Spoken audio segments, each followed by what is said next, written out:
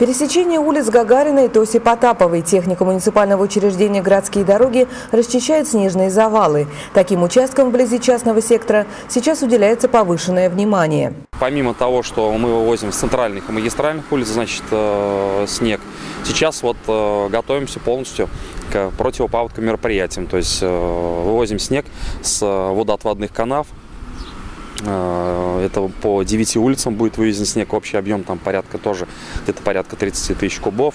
После того, как снег будет вывезен, начнутся работы по вскрытию водоотводных канав и приямков. Соответственно, данные мер... не только эти мероприятия будут выполняться, то есть это и расчистка дамбы, там ряд есть мероприятий противопаводков, которые будут э, вот уже с этой недели, приступаем, с этой недели будут э, выполняться. В Димитровграде на вывозе снега в круглосуточном режиме работают 5 самосвалов и 2 погрузчика. Сезон коммунальной службы еще не закончили.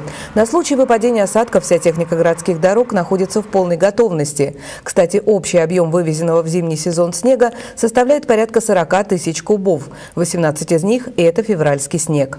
Татьяна Елисеева, Константин Белов. Наше время.